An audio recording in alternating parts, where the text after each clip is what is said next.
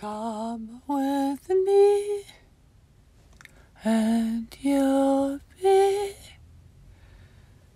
in a world with pure imagination. This is Princess Silke, and I'm walking. I'm as a person, I walk, and I put my fluffies on the phone, see if the wind doesn't hit my phone. Yes. So I do walk, I eat, and I poop, just like everybody else in case you didn't notice. I have very much emotion, probably not like everybody else. I might be a little bit too sensitive. I was admonished as a child that I was sensitive and kind and loving and liked a nice table. I was admonished for that too. I was admonished for being alive, so it's not enough. Anyhow, I never had a friend. I told you I had a friend in, in elementary school, but that's not exactly true. Here's what happened. Well, no one wanted to actually drive us to school. So we had to walk, and alone it's just dangerous, right? So they clipped me onto the neighbor's boy, Cord, who lived right next to it. So they put us holding hands and walked to school, half an hour, 35 minutes. 35 minutes walk to school, Cord and I. And back home, no, sometimes she would pick me up I remember one time I went to play at his house, and one time I had breakfast at his house. And one time I saw the rabbits, I don't know if that was the same day, and that they eat carrots. I saw that too. And that's my friendship. Cord never came to my place. He did not cross that line. And he probably was not a friend at all. He never proposed anything. He never said anything to me. He was intimidated, which I learned later when Helga met him when he was like 18 or 19.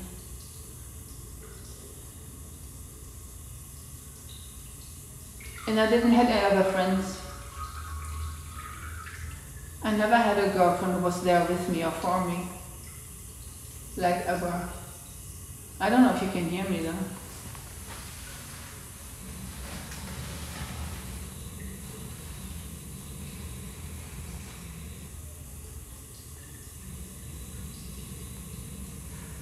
And I was in elementary school, and every half a year, or I sound like a broken record, in my exam would, stand, they would write down as the one phrase which would identify me as a person, independent from others, that I would always help other children to communicate with the teachers and to create peace.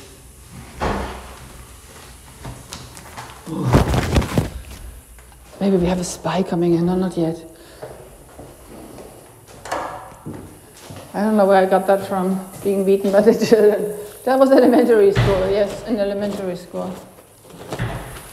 I'm just gonna let myself surprise. You're in the, in the little glove right now, your phone, and whoever comes out of the other side. Isn't that impressive? I mean, I hold a little thing in my hand and under my fluffy glove. And something's gonna come out of there. And we can post it and we can listen to it. You don't think life is a miracle? A little device you can listen to this anytime you want. You don't even have to pay anything. Just like that. How impressive.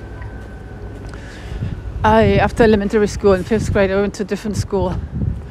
I didn't have a friend there either. But I met my cousin. She and my cousin he. But she was a popular girl and she was arrogant and sarcastic and I wasn't. I was like the nerd or the outsider. At least that's how I saw myself. And when I finally found a nice spot in seventh grade where I liked to be because we had music, then she took me out of there, of the school, of the music, of my cousin, of everything, of the group I was starting to go in. I'm back in the car. She took me off everything and brought me to an alcoholic household. My silver spoon. Okay. More to talk. And I had a crisis in eighth grade. Yeah, when we moved out of there. Um, the crisis actually began in seventh grade, before we moved. No, she also blamed me for the move. And she promised me she would give me a, a drum set. Well, she said whatever you want, and I said drum set, but she didn't give me the drum set. Yeah, why would she blame me? Says she wants to live with her boyfriend. I don't understand. You see, I still have to discern the whole shitload. I mean, to me, it makes just sense. Because she had promised that she wouldn't move me again until 18. And suddenly I was 11, 12, 13, no, 13. And again, we had moved when I was 10, we had moved when I was 11, 12, and now at 13 we move again. I don't know if I mind the move, but I minded not to be able to make music. I mean, moving within a, a specific neighborhood or the surroundings. And I was, I was, I was disappointed because I liked the school so much, which finally paid off. That school, the first two years, fifth and sixth grade, was like observation, and in seventh grade, finally the glory began, where everyone, each of the kids could like select a topic and I select music. So all kids who selected music was in my class were in my classroom, and the government had paid money for those schools, so we had all kinds of instruments. And she took me out of there, and the group I was starting to become part of, she took me out of there. And my cousin, I mean, yeah, same age, my other cousin, her brother a little bit older, a year older. Well, I went on vacation with him. Oh, when I was 14, I started cooking all of a sudden that probably maybe it makes only sense because when I was 14 I escaped to Corsica to the little island in the south France from Nice with my cousin and my friend who was older who was 21 yeah my cousin was probably 16 and we ate like bolognese that was a new thing for me pasta spaghetti bolognese that was like everywhere I think I got inspired because my first dish was bolognese and I just invented it out of nothing. Yeah, there were lots of spices in that house. I could see them. Absolutely inconveniently located up uh, on top of the stove. You know, when you cook, the whole grease goes into those. But I don't think anybody ever cooked there because she bought TV dinners. Can you believe that? She wasn't much into cooking. Well, she was busy. She was a working person, so who can blame her?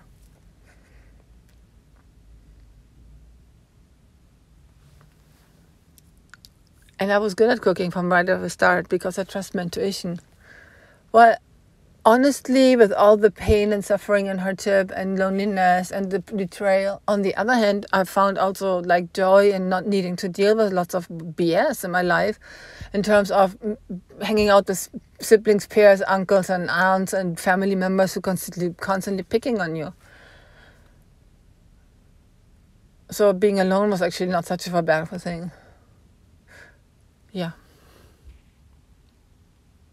Yet on the other hand, what it did to me, that loneliness was longing, longing to belong, longing to belong, longing to belong, longing to belong, longing and longing, longing to belong. Like I was, like I was, yeah, like the joke said, "Mommy, I don't want to go to Europe.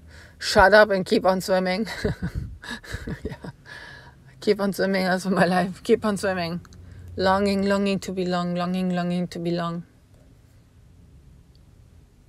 And now we found each other and still can't see him.